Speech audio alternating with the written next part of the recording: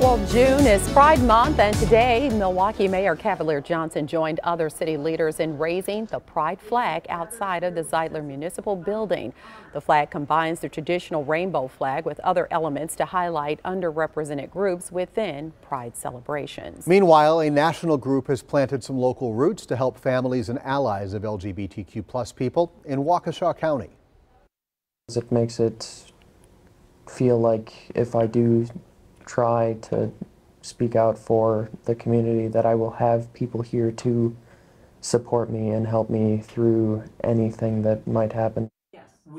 PFLAG not only advocates for LGBTQ plus individuals, it also works to educate others.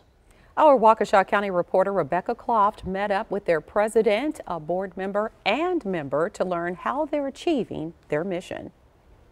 It's painful to live knowing that you aren't in the right body and that you aren't being allowed to be who you are just because other people don't want to pay attention or learn.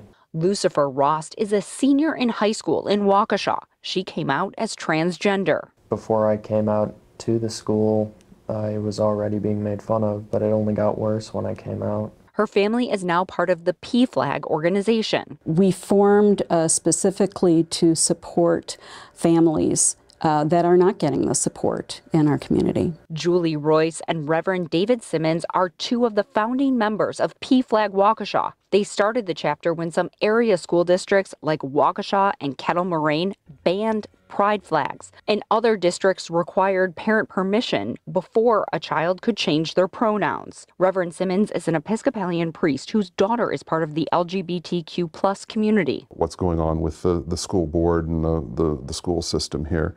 Um, uh, you know, it has given us a support group along with other LGBTQI organizations to kind of advocate for our children and to find support. Reverend Simmons says this is truly a life and death issue for LGBTQ youth. He points to suicide numbers released by the Trevor Project, which is a nonprofit focused on suicide prevention for the community. People treat this as it's a political football, but it's not. It's about the health of LGBTQIA teens. LGBTQIA teens who are known statistically to be at least four times more likely towards suicide than their other peers. That changes radically if there's just one person in their life who is accepting of them. It, it, cuts, it, it cuts the risk by half. For Lucifer, having this organization makes her feel less alone. Knowing that we have this community really helps because it shows that there is people who are supporting us. PFLAG has regular meetings every second Thursday of the month here at the Waukesha Public Library. The next one is June 13th at 6.30 p.m. We also have more information on how you can get in touch with the group at tmj4.com. Reporting in Waukesha, Rebecca Klopf, TMJ4 News. Thanks, Rebecca. You just heard the Reverend say LGBTQ plus teens are four times as likely to take their own lives. The Trevor Project is determined to change that. Confidential crisis counselors, they're available free of charge at any time. You can text the word START to 678-678 or call their crisis hotline or even go to their trevorproject.org.